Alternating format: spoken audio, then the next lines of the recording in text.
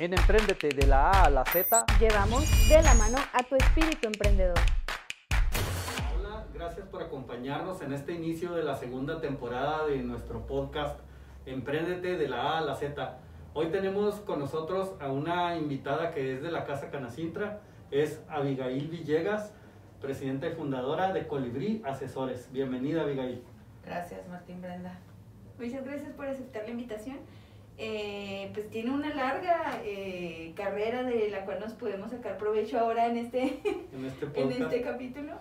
Y sobre todo nuestros escuchas, ¿no? Que puedan tomar parte de tu experiencia para ir haciendo su camino también. Muchas gracias. Al contrario, sí, pues mira, tengo como unos 22 años trabajando en la comunicación, que fue como yo empecé en, en los medios. Oye, se dice poquito, pero son 22 años. 22 años. La verdad es que sí, desde yo digo, mm, este, bueno, tenía No como cinco, no tenía como cuentas. cinco cuando empecé, pero sí, sí empecé muy jovencita, empecé antes de cumplir la mayoría de edad. Mm, Yo entré al, norte Ajá. antes de cumplir la mayoría de edad. Y sí les quiero platicar esa experiencia de cómo fue que yo entré, porque fue algo chusco, chistoso. Yo vendía ropa. Yo vendía ropa usada a mis amigas, nueva y usada, porque comprabas en el paso ropa muy buena calidad y la podías revender, ¿no? Y un día eh, fui a, a venderle a mi amiga, la Rochi, que es pues hija del señor Cantú. Ok. Y estaba el señor Cantú ahí y yo le vendí los pantalones que traía puestos. Ok, o sea, la chava ok. me dijo, oye, me encantan tus pantalones. Y yo te los vendo. ¿Cuántos? 20 dólares ahorita mismo.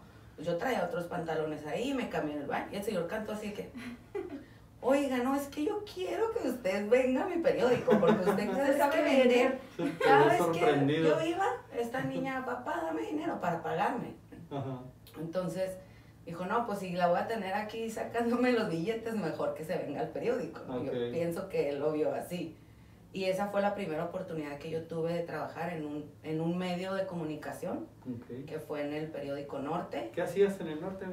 Ahí me invitaron a ventas. Pues Mm. tú sabes, es ahí donde te, te trinean, ahí donde dicen, si sirve para algo, pues va que venda primero, Sí. ¿verdad? Ok. Y la señora Carla Sánchez, que era la gerente de, de ventas, pues me tuvo que dar una, una cátedra de, de cómo comercializar el De periódico. espacios y todo. Sí, de las ocho columnas por 21 Sí, pulgadas. y yo, hijo, yo reprobé matemáticas, pero bueno, este, me, fue, me fue muy bien. La verdad es que fue muy difícil al principio y aparte, pues una chamaquilla, yo llegaba ahí a los... Le quiero vender publicidad y los señores así que, ¿y usted qué sabe de la vida? Ajá. O sea, ¿usted qué me va a venir a vender a mí? ¿Cómo, cómo yo voy a comercializar mi producto? ¿Usted? O sea, y yo, este, no, que sí, que mire, y ya sabes, le sacaba todo el portafolio de las secciones y todo. Y desde ahí, pues, lo que primero que aprendí fue a tener que ganarme la confianza de la gente, ¿no? Por supuesto. Una mujer joven, que por supuesto no tenía nada de experiencia, Ujú. pero que andaba tocando puertas, ¿no?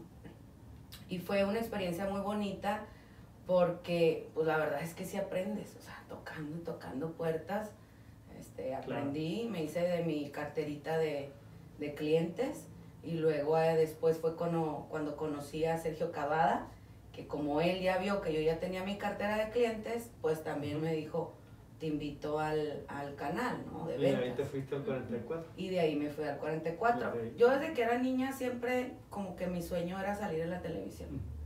Yo veía las conductoras, pero de noticias, eran las que me gustaban más. Sí. No tanto las de espectáculos o las de programas, sino las de noticias. Yo decía, qué padre salir en la tele, pero aparte lo interesante tener acceso a esas personas que ellos entrevistan, que casi siempre es gente muy importante, interesante, deportistas, artistas, presidentes, empresarios. Y yo decía, eso es que yo, yo quiero eso. Yo quiero salir en la tele y entrevistar a los, a los presidentes, a los claro. Y la verdad, pues poco a poco eso fue lo que fui haciendo. Fui haciendo relaciones públicas, fui haciendo de mis clientes de, de prensa y luego después me los llevé a, a tele. Y luego también colaboré mucho tiempo con, con EXA, cuando era, cambió de FM Globo a, a EXA. Este, en el 44 estuve cuando dejaron TV Azteca, bueno, porque ellos tuvieron TV Azteca Telemundo, algo así. Estuve un tiempo con ellos ahí Y pues ahí fue donde aprendí a todo lo de la comunicación, a la producción. La producción fue algo que me gustó muchísimo. Ujú. La producción que para mí es, un productor es un administrador. Un administrador de objetivos, de recursos, de tiempo, de talento, de equipo.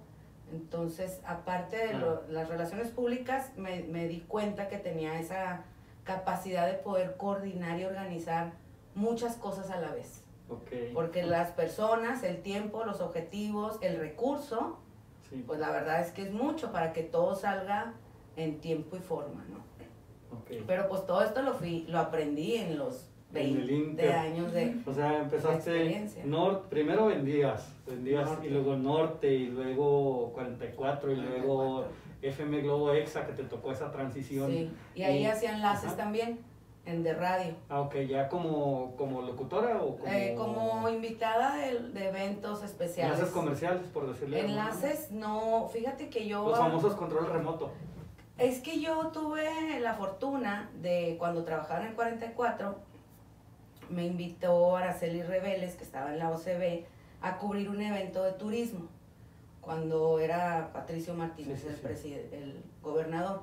Entonces, al director de turismo le encantó el reportaje que Mm. hicimos. Y nos ya me contrató como productora por cinco años, todo ese sexenio. Yo hice todos los videos de promoción de turismo y aventura del estado de Chihuahua. Chihuahua. Año Ok. tras año hacíamos los, los, pues, los nuevos videos, porque los actualizaban, porque era el Festival de Turismo y Aventura. Entonces ahí en radio lo que yo hacía era los enlaces Sí. desde las diferentes ciudades donde estábamos. Que estamos en Krill, que está esto, que ganaron aquí, que llovió. Y aprendes también, o sea, la verdad es que está bien padre hacer un enlace de radio. Y luego después también en televisión, pues yo le dije a, a Sergio, no, pues quiero tener mi programa. Me dice, ay, pues sí, qué padre, ¿no? Pues tú, mira, asómate. Todos esos que quieren. tienen aquí quieren su. Me dice, nomás que ellos tienen 20 años aquí. Ellos empezaron con mi papá, o sea, yo no te puedo dar un programa. Pero si tú vendes lo suficiente para sacar el programa, pues podemos ver la manera que tú lo produzcas. Y pues ándale, o sea, haz de cuenta que me, pues a mí ya me había dado el sí, o sea, ya me dijo Sí. que había una posibilidad de que yo podría hacer, salir en la tele y Sí. hacer mi programa. Y me fue súper bien, ¿no sabes? Ese día me fui, me fui al Soriana, me acuerdo, andaba comprando el súper y caminando Sí. vi a una señora afuera de la joyería, que ella era la dueña y yo no sabía. Y yo llegué y yo le dije, es que mire señora, usted vende y luego, no, pues sí, sí vendo, ¿verdad? Pero es que yo la voy a sacar en la tele. que... La señora me dio mil dólares en efectivo ese día. Yo no tenía ni una tarjeta del canal. Ajá. Yo no tenía, pero lo, lo que pasó es que ella se dio cuenta que su hija me conocía, Ok. que nos conocíamos, que éramos del mismo grupo de amigas. Además te vio muy entusiasmada, supongo, ¿no? Sí, o Porque sea, la verdad es esa meta. la, la convencí. O sea, la señora, la verdad, yo creo que haber dicho, híjole, o sea, esta niña le voy a dar este. Pero pues, yo, la verdad, yo nunca le he dado dinero a nadie para hacer algo, sino, sino a ver, mándamelo por escrito y el Claro. logotipo y tu empresa y dónde estás. Y, este, no, fue padrísimo, porque además yo no tenía nada para empezar el programa. Y con esos mil dólares compramos la cámara, la primera cámara que tuvimos en Atmósfera, que fue cuando empezamos la productora de Atmósfera. Así fue como Entonces, se llamó. al todavía después de FM Globo te regresas a producir. Es que ya estaba igual, Ah, en las dos al mismo mismo tiempo. Estabas trabajando al Lo mismo mismo, lo mismo. ¿Y cómo, bueno, aparte de eso, sabemos que tienes la trayectoria muy amplia, has producido hasta para Playboy. Eh, ¿qué, qué más has hecho en tu vida? Uy, pues muchas cosas. Mira, la de Playboy estuvo también muy padre porque siempre han sido como cosas de oportunidad. Ajá. Ayer, la oportunidad que sabe aprovechar. Sí, que, platicaba con mi hermana, le digo, vente, vamos a Canacintra porque ahora anda acá. Y lo me dice, es que tú todo dices que sí. y yo me quedé, de verdad, así será. Pero muchas de las cosas que he hecho, eh, me he atrevido a decir que sí, ni siquiera teniendo la confianza de que lo voy a poder hacer, pero si- sin siquiera saber cómo lo voy a hacer. Pero también hay cosas que has dicho que no. Ah, sí, sí, muchas ¿Y cosas. qué es lo que te lleva a decir sí o no? Mira, ahorita, la verdad, tengo la fortuna de que yo ahorita yo escojo mis clientes. Mm. O sea, la verdad, mis clientes, mis proyectos. Al día de hoy yo busco proyectos que me den relevancia, Mm. no que me dejen andar haciendo 50 comerciales de 3 mil pesos. O sea, no, ¿para qué? O sea, yo quiero, mejor me espero y que llegue un proyecto que me deje algo a mí y que me Ujú. permita dejar algo, algo interesante, algo padre. El último proyecto que, que firmé, que me llegó el año pasado, que no lo busqué, fue para hacer el manejo de crisis de Active de la comunicación a nivel nacional, porque ellos tuvieron un problema, pues tuvieron un deceso de alguien ahí en su, en su departamento de comunicación. Ajá, correcto. Entonces, pues son proyectos que son relevantes, que son importantes, que requieren atención, que requieren experiencia y que era novedoso para mí, pero pues la verdad sí me, me, me gustó mucho y lo Claro. hice, lo hice bien. Este, el de Playboy estuvo interesante también, porque pues igual como mujer, te digo, siempre te ven y lo principal es, te menosprecian. De entrada es, ay, esta sí, pues, ha de ser la novia de, del- de compras o es lo primero que la gente piensa, ¿no? Y con Playboy tenía unos amigos que eran fotógrafos de ahí y ellos me invitaron a hacer un casting. Ujú. Entonces le dije yo, pues sí, digo, qué padre que me invites a hacer un casting, pero yo soy productora. Luego, pues sí, por eso, Avi, pero pues, o sea, pues estás bien buena, hombre, Tú en el casting. Pues imagínate, yo Ajá. tenía 20 años. Sí. Pues a los 20 años, pues, pues las niñas están bonitas, pues. Bueno, si estás escuchando esto, pero Abigail es guapísima. ¿eh? Si no Ah, la conoces, es muy guapa. Ay, gracias. Y, tiene, y proyecta una energía y proyecta una imagen muy, muy, muy. ¿Cómo te explico? Cuando llega a un lugar, volteas a verla. Ay, Así sucede, siempre volteas a verla. Gracias. Entonces, imagínate, claro que le invitaron a- al casting de Playboy. Sí, Y luego a platícanos. Pero para esto yo estaba pues en unión libre, tenía mi pareja y claro que estaba él así de que, ¿qué te pasa? Estás loca, no sabes qué tipo son, digo, por eso. Pero pues ellos tampoco saben quién soy yo. Este, claro. Déjame ir, o sea, yo quiero, yo quiero ver esa oportunidad, tocar esa puerta. Y fui al casting con otras 100 niñas hermosas de, de todo México y de otros países. Y pues obviamente no quedé en el casting, pero yo me esperé hasta que saliera el director de Playboy Latinoamérica, los argentinos, el de Playboy México, y ahí los abordé. Oigan, es que miren que yo que soy productora, y el chavo así que, pues sí, por eso, mija, pero, o sea, o sea, si quieres te contratamos para unos comerciales porque nosotros producimos Televisa. Y yo, no, pero que mire, por favor, cuando se le ofrezca un asistente. Ándale, pues. Y total, yo hice amistad con el, con el director de Playboy México porque él se me acercó así como que, no te sientas mal y mira, te vamos a dar chance de salir así igual en un, en un comercial o de Decan y yo así como que por eso, o sea, sí, pero yo puedo producir.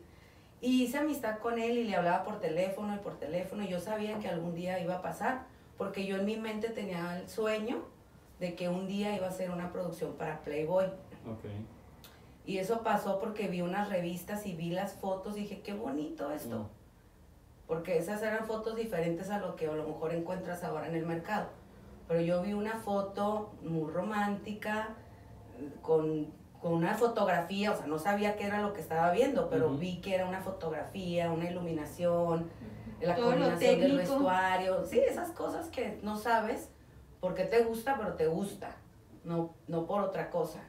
Y bueno, pues total, un día que hablo con este señor de Playboy México, me dice, pues es que estoy muy enojado, cuélgame, no quiero hablar contigo, porque se me acaba de caer un, un patrocinio de un hotel donde iba a grabar cuatro programas especiales y tengo que tener los programas listos en un mes y etc, etc, ¿no? Y para esto pues yo colgué, dije, esta es mi oportunidad, conseguí los hoteles, conseguí este, a los de turismo que me apoyaran, Pa- Ujú. prácticamente les pusimos todo en bandeja de plata, Ujú. no se pudieron echar atrás, vinieron a hacer esos cuatro programas especiales de Playboy, hicimos en Ujú. las dunas, hicimos en las barrancas, hicimos en Krill, este, pues casi todo fue en la sierra. Estuvo padrísimo porque trajeron un, un camión de ómnibus que los había patrocinado, pero rotulado de Playboy. Y a- adentro tenía camerino, cama, tenía acondicionado para, para comer. Este, veníamos con los maquillistas, fotógrafos, editores, pues éramos como 20, 25 personas en el camión. Y este, y bien padre, ¿no? Nomás que los, nos paraban los de la Federal de Caminos. Por supuesto. ¿Y ustedes quiénes son? Van a exceso de velocidad. O sea, señor, por favor, a las 3 de la mañana. ¿Y qui- qui- quién viene aquí? Por supuesto. Sí, claro. Entonces, este, las pobres chavas así a las 3 de la mañana, ya sabes, o sea, pues, es producción. Las chavas si están de cara lavada, pues no se ven Claro. igual que cuando están en el, Claro en la sesión, ¿no? Pero esa fue la experiencia con Playboy, fue muy buena experiencia, después me felicitaron, me invitaron a irme a trabajar con ellos en México y pues ahí ya les dije que no, que no era ese el, el tipo de vida que yo quería para mí, porque pues también es, es un estilo de vida, ¿no? Y yo no quise ya entrarle ahí, pero sí fue un proyecto interesante para, como experiencia. Y ahora tienes cuentas muy interesantes, Abby, como veo, tienes a Tomsa, tienes a... ¿Quién más está entre tus cuentas con las que estás trabajando? Pues mira, los que trabajo ahorita, Grupo Fuerte es Tomsa, Ujú. Tomsa que también es, un, es una relación de confianza, es una, pues ellos son de aquí, Ujú. es gente que, cono- que conoces desde niños, en la calle, en- y hace, hace algunos años, ya cuando yo estuve en México, pues me dieron la oportunidad de hacer una campaña nacional en tres días, y la verdad pues me pusieron en una prueba y ellos también se dieron cuenta de esa capacidad que, que se tuvo de reacción y de atenderlos como ellos querían. Y a partir de ahí pues sí trabajamos sus campañas nacionales corporativas. La ciudad del Paso, que es un cliente también que con él ellos tengo 10 años como su agencia de promoción de turismo en español, porque ellos tienen una agencia para Estados Unidos, pero yo soy su agencia en México, a ellos les hago toda la estrategia, promoción, coordino sus campañas, los diseños, las relaciones públicas, los eventos, los represento en, en- en eventos, en congresos de turismo, este, para atraer el turismo al paso, ¿no? Que al final de cuentas eso lo haces aunque casi aunque no te paguen, Ujú. lo haría con mucho gusto y siempre promuevo Juárez, aunque mi cliente es el paso, pero pues yo tengo que promover Juárez porque Juárez es el destino que ellos van a llegar para cruzar al paso. ¿no? Somos una ciudad, a final de cuentas. ¿no? Sí. Pues sí, entonces eso es lo que estamos trabajando ahorita. Avi, ¿cómo es, ¿cómo es para una mujer el haber llevado toda esta trayectoria? Porque si, si ahorita hay, si ahorita es cerrado y hay discriminación porque es algo que existe y no lo podemos negar, yo me imagino que hace 20 años que arrancaste tu carrera era mucho más difícil. ¿Cómo ha sido para ti crecer en los negocios, en tu carrera, en tu industria, siendo una mujer? Sí ha sido difícil, pero pues es que te vas formando, te vas, te vas haciendo, ahí es donde aprendes lo que es el temple para mí, porque sobre todo como mujer, hijo, es bien difícil porque te digo, la gente te menosprecia. Si llego yo y llega otro proveedor, este, y yo me doy cuenta, o sea, yo he visto que hacen así para verte, o sea, a ver si la, a ver si la recibo. Sí, O sea, si está guapa, pues sí, y si no, no. ok. Pero no te reciben con la intención de contratarte, te reciben con la intención de verte, a ver qué trae, ¿no? Sí. Entonces tú tienes que comprobar que tienes la capacidad de atenderlo, de resolverle. No ha sido fácil porque los hombres se creen así como que pues ellos te la saben todas, ¿no? Y que pues una chava que venga a decirte a ti o darte recomendaciones. Pero pues poco a poco, poco a poco llega un momento en que pues ya tú sabes que dominas el tema y que le puedes decir al cliente, discúlpeme, pero usted está equivocado. Lo que usted quiere que es no es lo que usted necesita. Y entonces también el cliente, oye, ah, ¿verdad? Este, y te empiezas a ganar el respeto. O sea, es un tema ya después de 20 años, creo que es un tema de reputación. Y por ahí va la, la siguiente pregunta. eh, ¿Tú notas que el ambiente ha cambiado o solamente eres tú la que ha cobrado experiencia? Pues yo creo que más bien soy yo. Creo que el ambiente sigue siendo hostil para la mujer, difícil, eh, nos siguen menospreciando, pero pues ya tú ya no lo ves, ya ni siquiera te das cuenta, Para ti es parte del entorno nada más. ¿sí? Y ni lo tomas en cuenta, o sea, cuando me dicen, oye, pero yo, por ejemplo, yo nunca me he sentido acosada, nunca jamás, y no creo que, o sea, nadie me ha acosado, nunca he sentido sí sentí que te ha- hacen un piropo o lo más que he sentido es que piensan que no tengo la capacidad, pero no como para que me, me hagan una propuesta así indecorosa. Pues no, digo, si ahí empiezan de galanes, pues tú luego, luego les dices, oiga señor, no, pues discúlpeme. No es por O ahí. sea, no. y, y hablar de frente, eso es bien importante, ¿eh? porque la mujer como que, ay, ya me está tirando la onda. y- entonces, pero, oiga, señor, no, pero pues no se, no se equivoque, o sea, no se preocupen, yo vengo por esto, o sea, tú tienes que ser muy clara con ellos que tu trato va a ser profesional. Y después sí puede haber amistad, porque tengo muchos clientes que después soy amiga de ellos, pero me respetan. Pero primero tuvo que demostrar la capacidad y demostrar la seguridad y ya es, o sea, eso no debería de pasar en ese sentido, pero después de demostrar capacidad, demostrar seguridad, ya es cuando te toman en cuenta de, ah, ok, esta persona sí, sí puede. Ujú. Hay, hay un dato muy interesante que nos, me estaba dando Brenda ahorita que estaba comentando de cuánto es el porcentaje de emprendedoras mujeres en el país. Ah, eh, según, ah, así. según el Instituto Nacional de Emprendedor, el 19% de las mujeres en México son emprendedoras. Eh, esto se traduce como son más o menos unas 4 millones de personas. Y agarramos otro dato eh, de, la, de los mismos resultados, que en el 95 eran solo 2.5 millones de personas. O sea que Se duplicó. se duplicó más o menos el, el porcentaje. Ah, Y ah, bueno, en mi observación sería como, no solo se cambió un poquito el ambiente, eh, que sí sigue siendo difícil, sí sigue siendo hostil, como nos platica de todas formas, eh, primero se tiene que validar porque de buenas a primeras pues no, no toman en cuenta la capacidad, pero al menos en cuanto a, eh, o no sé, la verdad no se me ocurre exactamente el cambio, pero quiero creer que es oportunidad en cuanto a igualdad en, en cosas legales, probablemente en trámites. Sí, y la mujer va ganando confianza en general. Yo creo que, es, por ejemplo, estos comités de mujeres que se van a hacer sirven para que las mujeres agarremos confianza. Yo, por ejemplo, agarré mucha confianza en la Canaco. Yo estuve casi 10 años ahí como, conse- como vicepresidente, consejera suplente, consejera propietaria. Aprendí muchísimo, pero te tienes que foguear, tienes que hasta saber cómo batear a una persona de manera sutil para que no se te ofenda, porque pues, pues sí, sí puede ser un cliente potencial. Entonces, la verdad sí es este, pues no es un arte, pero sí tiene mucho que ver con la inteligencia emocional, con cómo tú te expresas, con que tú no te sientas que todos quieren contigo, porque en realidad no es así. Nada más como que te avientan el anzuelo a ver si lo agarras, ¿verdad? Entonces, y que tú sepas cómo, cómo puedes manejar esa situación para que no, pues para que no se rompa la relación, porque no se tiene por por qué romper. Ser Sí. más profesional. Sí, sí, ser profesional y decirle, oiga, señor, pues no se equivoque, no va por ahí.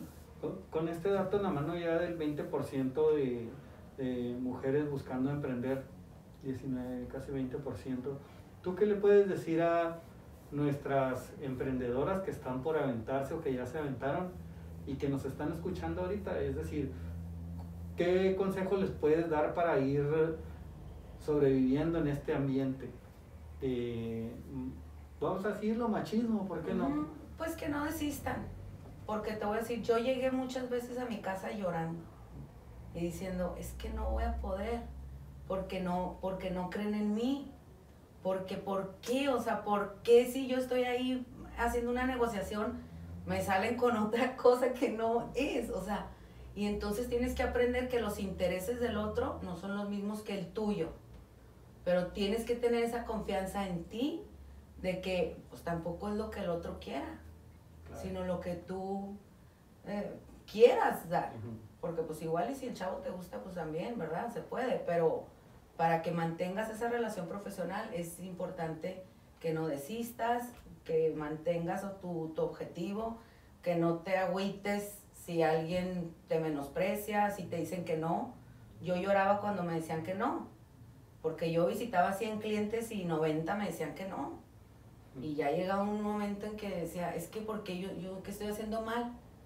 Y yo misma me cambié el chip y dije, ellos no tienen dinero para pagarme.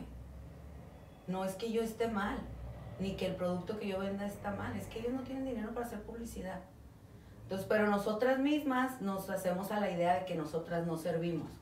Entonces es eso, o sea, darle y darle y equivocarse y equivocarse y equivocarse. Porque pues la verdad la única manera de tener éxito es equivocándose. ¿Cómo ha sido esa parte de, de Abigail como empresaria, emprendedora en un inicio y pareja, familia, etcétera? ¿Cómo ha sido para ti? Al principio fue difícil cuando yo me casé. Este, y ahora que no estoy casada, pero que con mis parejas o pretendientes, sí es un poco difícil porque pues ellos saben que estás expuesta como mujer. Si yo voy a un viaje con unos clientes, no con uno, con diez, o voy a un congreso donde hay 200, que casi siempre somos dos mujeres y 50 hombres, este, pues todos andan ahí este, pues de coquetos, la verdad. Entonces, sí ha sido difícil para mis parejas aceptarlo. Este, pero pues bueno, el que le guste, pues que se aguante, ¿verdad? O sea, es que no se puede de otra forma. O sea, yo les digo, a ver, yo no voy a cambiar lo que yo soy. Yo ahorita yo no voy a cambiar lo que yo soy. A lo mejor a los 20 años yo sí podría haber dicho, no, pues yo ya lo que mi marido diga, ¿no? Pero ahora no. Y aparte yo siempre digo, la decisión es mía. De cómo manejar mi vida y de si me relaciono con alguien más, es, es mi vida. Y mi familia, pues mi familia ahí sí mis hermanas, mis sobrinos, pues ellos me adoran así ya como yo soy, bueno, pienso, ¿verdad? Que me adoran así, me aceptan así. Por un lado puede traer complicaciones de pareja, pero por el otro tienes libertad total. Es decir, uh, tú eres dueña de tu tiempo, eres dueña de tu lo que tú quieras hacer para allá va, ¿no? Sí, la verdad sí, o sea, yo sí estoy muy feliz en eso. Me siento una mujer plena, eh, contenta, satisfecha. Si me pongo a pensar cuando yo tenía cinco años, cómo quería que fuera mi vida, así. Así. Libre, eso es lo principal. Libre y eso no se refiere a que si estás enamorada o no. Este, de sentirte libre de ser y hacer, eso sí está muy padre. Qué padre. ¿Qué? parte, sí, adelante. De eso iba a comentar que aparte hacer cosas que le apasionan, porque por lo que nos ha contado de su historia, desde un momento usted supo que producir era algo que le gustaba, que eh, la comunicación era algo que le apasionaba y pues eso da frutos, creo que ya esa es una palabra que siempre sobresale, que la pasión da frutos y más si sabes aprovechar las oportunidades y tienes seguridad y ganando experiencia también. ¿Cuánta pasión, Abigail, has puesto en tus proyectos? No, pues mucha. No, no, no tengo un indicador de medida, pero mucha. Digo, ahorita cada vez te haces un poco más frío o más analítico, pero, hombre, yo me acuerdo, durábamos, trabajábamos 20 horas sin dormir, sin comer y ojerosos y dices tú, o sea, tampoco, tampoco, eh, tampoco tiene que ser así la vida, pero es parte de. Y luego aparte no había remuneración económica. O sea, la verdad es que sí, muchos años también batallamos para sacar para las nóminas, para los equipos que teníamos que comprar, este, para mantener a los 20, 30 empleados que ya que tienes. Este, y sí, le tienes que poner mucha pasión para en realidad estar trabajando para pagar las nóminas. Pues sí, por supuesto. ¿Qué proyectos futuros? ¿Qué, ¿Qué, quieres hacer en los próximos años? Con tu empresa y con tu vida como, como persona, como mujer. Pues estoy en un proceso como de, precisamente de, reestructurar, de ver. Eh, yo siempre tengo planes a futuro, muchos, pero ahora no tengo un plan a largo plazo. Solamente tengo mi, mi plan del año y mi plan del año es que voy a disfrutar todo el año este, con trabajo, sin trabajo, este, con salud y, y, escogiendo los proyectos que a mí me, me gusten. No sé todavía, me interesa entrar en otro en otra industria que es el del real estate, de, destinos turísticos, que es algo que pues de alguna manera veo, porque viajo mucho y veo, me gusta ver las propiedades, me gusta ver las casas, los departamentos y cuánto cuestan, y creo que ahorita es, es un momento también de, de diversificarse y de pues abrirse campos en otro tipo de, de industrias que me pueden dejar la satisfacción de conocer gente interesante, de viajar, de vivir en diferentes partes de México o de otras partes del mundo. Sí te he visto por ahí paseándote en la playa muy seguido. Sí. ¿Dónde te gusta Cada ir? Mi destino favorito es la Riviera Maya. Este, Cozumel es, eh, lo conocí, lo descubrí hace poco, digo, sí había ido, pero el año pasado estuve ahí con unas amigas como una semana y pues me enamoré de Cozumel, lo que sí que pues es una isla, o sea, también para cuánto te da Cozumel Sí. este, vivir ahí pleno, ¿no? Pues igual y puede ser que sí, pero es lo que más me gusta, pero igual me gusta todo, me gusta el bosque, me gustan las cascadas, las barrancas, todo México, la verdad, en cuanto a destinos turísticos, pues sí está muy bonito. Habl- Hablaste ahorita un poco de este comité de mujeres industriales en la Canacintra. Mm, Platícanos un poquito qué es el plan, qué es lo que quieres hacer con ese comité, hacia dónde van encaminadas, cuáles van a ser sus primeros pasos. Bueno, pues yo creo que aquí tenemos que adaptarnos un poquito a lo que ya se ha venido haciendo. El comité se creó en Canacintra hace 10 años, fue lo que, lo que me comentó Livia, que es la, la coordinadora nacional, como una comisión. No tenía mucha relevancia. ¿no? Las cámaras tienen comisiones como por gremios, por intereses, ¿no? Que la comisión de los yoqueros o que la comisión de los carniceros o de y era una comisión y al 2013 ya la hicieron nacional, la comisión ya, ya, ya se tenía en la, en la Ciudad de México y ahí decidieron por el número de socias hacerlo un comité y que cada ciudad tuviera su comité. La Canacintra se eh, integró al pacto este global de la ONU, que no sé qué, que la igualdad de género, y entonces casi que por de a fuerza tienen que tener el comité de Mujeres, in- mujeres industriales. industriales del Canacintra. Entonces, pues qué padre. Vamos a empezar a crearlo aquí en Juárez. La idea es que hagamos un plan de trabajo cada ciudad, de acuerdo a las necesidades, pero pues en general lo que haces es sondeas qué, qué giros tienes, qué inquietudes tiene tu, tus socias. Eh, a lo mejor algunas tienen inquietudes de más capacitación, algunas tienen inquietudes de que les ayudes con ciertos trámites, algunas pueden tener otras inquietudes de cómo afectan decisiones del gobierno en la productividad de sus empresas. Entonces, en base a eso, pues ya tendríamos que hacer un comité interno o, o poner como responsables internos de, bueno, pues tú te vas a encargar de las capacitaciones y tú te vas a encargar de que las gestiones que vamos a pedir en Canacintra a favor del gremio y tú te vas a encargar de los networkings entre nosotras. Yo creo que está muy interesante porque, pues sí tiene muchos beneficios. La capacitación es uno de ellos. Claro. Poderte actualizar con otras mujeres en, en- en- sobre todo en los temas de tecnología, que es lo, lo que tenemos ahora que adaptarnos. Y también te ayuda mucho para, pues para que hasta que te des apoyo. La verdad es que eso a lo mejor no le damos mucho el valor, pero yo te puedo decir que de las cámaras donde yo he estado, tengo amigos, pues son amigos de 10 años, de Ujú. 15 años, que s- si necesitas un apoyo, pues, si es tu amigo, te lo va a dar, ¿no? O si es tu Claro. amiga, te lo va a dar.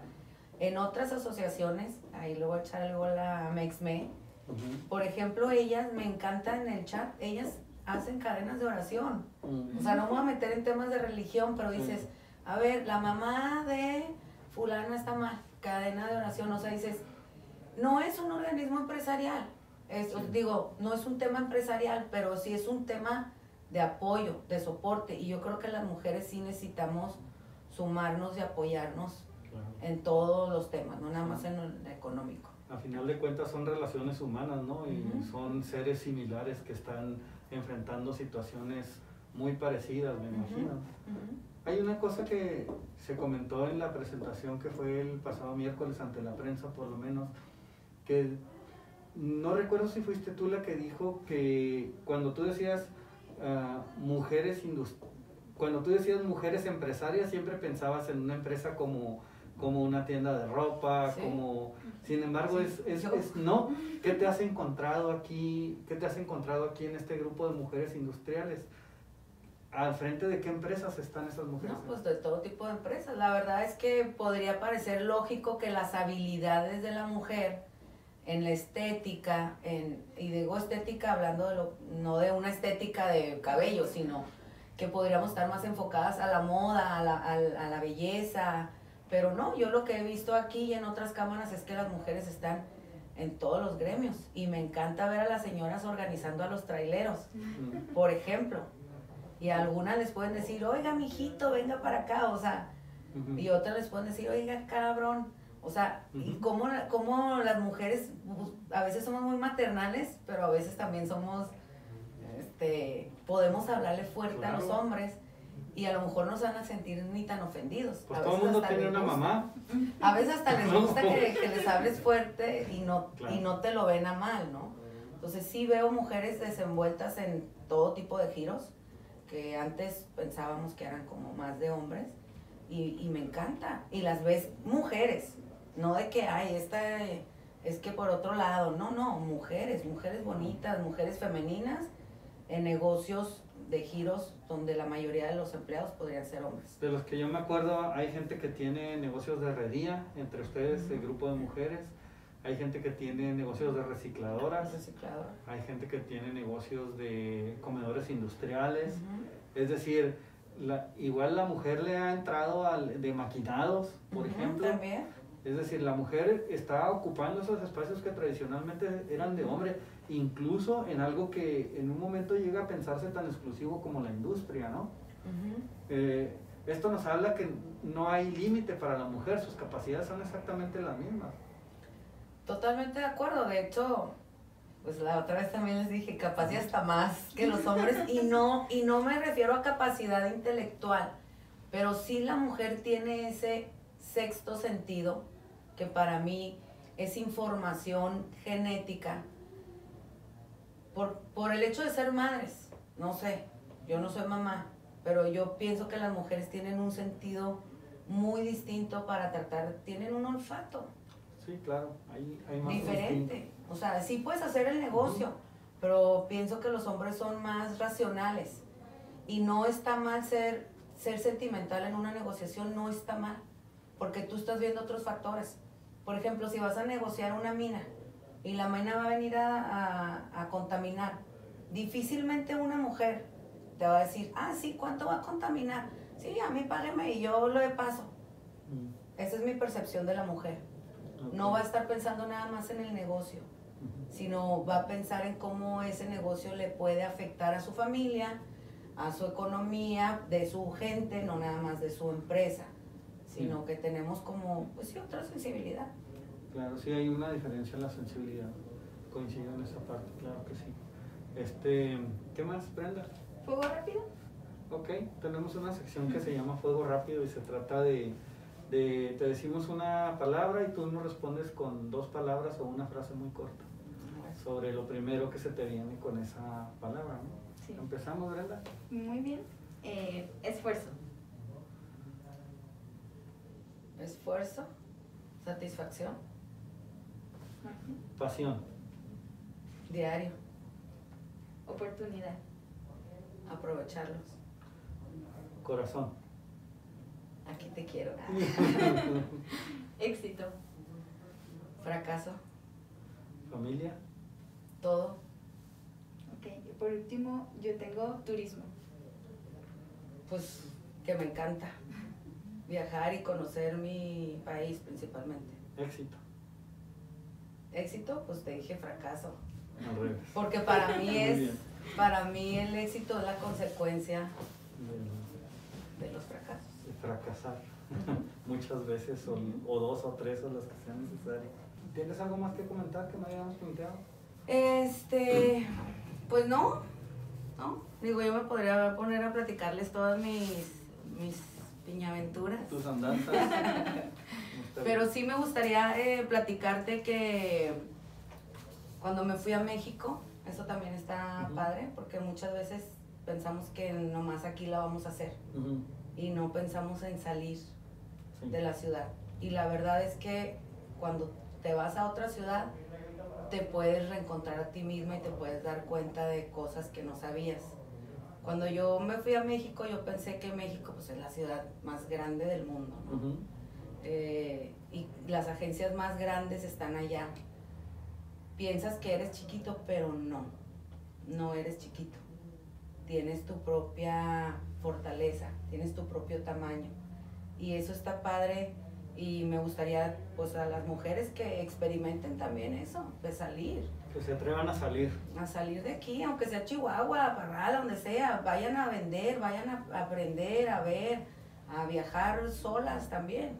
El mundo llega más allá del paso y del kilómetro 28. Pues sí, es que la verdad es que sí somos muy regionales en ese sentido de, de a lo mejor estar aquí siempre. A mí me encanta ser promotora de la región Ujú. y he oído mucho el término de que fuga de talentos, se van los talentos, Ujú. ok. Pero ¿qué pasa cuando los talentos regresan? Yo ya me fui, yo me fui ocho años, yo experimenté muchas cosas. Yo puedo regresar con esa experiencia que las otras agencias, por ejemplo, que están aquí no las tienen. Yo ya trabajé con un gobierno federal. No es lo mismo trabajar para una organización local que para una nacional, y menos para una secretaría eh, con ahí directamente haciendo los informes del secretario, por ejemplo, ¿no? Claro. Este, otra experiencia que tuve muy padre fue la de hacer el libro de Faros de México, Ujú. que igual fue una oportunidad, fue un proyecto que pues no, no lo tenían contemplado dármelo a mí, se lo tenían contemplado dar a otra, a otra empresa, pero fíjate, me llamó mucho la atención que Thor en la rueda de prensa dijo que ha- había una ley que, teni- que para la proveeduría, que lo Ujú. que estaban Sí. haciendo para la proveeduría. Y yo recuerdo, ese contrato me lo dieron a mí porque la secretaría tenía que tener, cumplir con un porcentaje de pymes, de contratos de pymes. Si no, ese libro se lo hubieran dado a una editorial importante como las que existen, pero decían, es que tenemos que cumplir con esta cuota de contratar las pymes, no hemos contratado ninguna pyme. Pues algo que no sea importante para nadie, pues el libro, ¿no? Yo pienso que así dijeron, pues algo que no sea importante, el libro, pero después el libro se volvió algo muy importante, Ajá. porque primero iban a hacer un librito como de señales marítimas, entonces era algo muy técnico. Y ahí, este, hablando con estos ingenieros, ¿verdad? Este, yo les decía, nada más que el- si vamos a hacer un libro para, para promover los puertos y promover la marina, pues no podemos hacer algo tan técnico. Porque entonces, pues las señales marítimas, pues a quién le importa las señales marítimas, al piloto del, del puerto y ya El barco, sí. o al que va manejando el barco y ya, que son 100 en todo el país. No hay Ajá. más manejadores de barcos. Creo que hay Ok. 120 pilotos en el país. Entonces le digo, pues entonces, ¿para quién están haciendo esa promoción? ¿Qué le parece si hacemos algo histórico, que hable de la infraestructura de los puertos, pero que también sea fotográfico, que la gente lo quiera tener, que lo quieran tener en su casa, que lo puedan consultar? Y poco a poquito fuimos convirtiendo ese proyecto, que iba a ser pues, un manual técnico, en un libro que cuando se terminó lo seleccionaron para hacer el, el- el libro que presen- representara a México en la Feria Mundial del Libro de Alemania en Frankfurt. Entonces para mí fue así de que de, no, de nunca haber hecho un libro a que mi libro representara a. México en la Feria Mundial del Libro de Frankfurt. Pero cuando yo fui le dije a mi mamá, voy a hacer un libro. Mi mamá sí, siendo unos chilaquiles, ¿no? Ay, mijita, tú ni sabes escribir. y es verdad, yo tengo muchas faltas de ortografía. Ajá. Y le dije, mamá, pero no lo voy a escribir yo. O sea, yo voy a ser la creadora, la editora, es el, el coordinador editorial, el que, Lo vas a producir, como decirlo. ajá, lo voy a producir. Y eso fue lo que, lo que hice. Ahí es donde te digo que pienso que mi capacidad es de producción y eso lo puedes hacer un programa de televisión o una campaña o un evento o, Una persona. o un informe o una persona o la imagen de una Produces. persona Ajá. o un libro o lo que se te ocurra. Creadora. Es una metodología Ajá. que usas y usas el talento de los demás. Ni siquiera es ni el tuyo solamente, porque casi siempre te tienes que rodear de muchas personas. ¿no? Y así es como armas tus proyectos. Sí, así es. Pues todos los proyectos pues necesitas mucha gente. Ahorita ya prácticamente todo lo hago outsourcing porque mis trabajos son muy especializados.